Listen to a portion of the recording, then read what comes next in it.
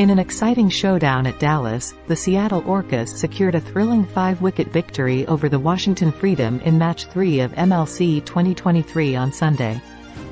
The Freedom, batting first, managed to accumulate a total of 144 sevenths in their allotted 20 overs. Akeal Hosein played a crucial role with an unbeaten knock of 33 runs off 22 balls. Seattle's bowlers, Harmeet Singh and Wayne Parnell, were instrumental in restricting the freedom, both claiming two wickets each. In pursuit of the target of 145 runs, the Orcas faced some early challenges but showcased resilience. Nauman Anwar contributed significantly with a knock of 48 runs, while Imad Wasim played a match-winning unbeaten innings of 43 runs. Seattle reached the target in 19.4 overs, finishing at 148 fifths. Seattle Orcas' hard-fought victory highlighted their determination and marked an enthralling contest in the Major League Cricket 2023.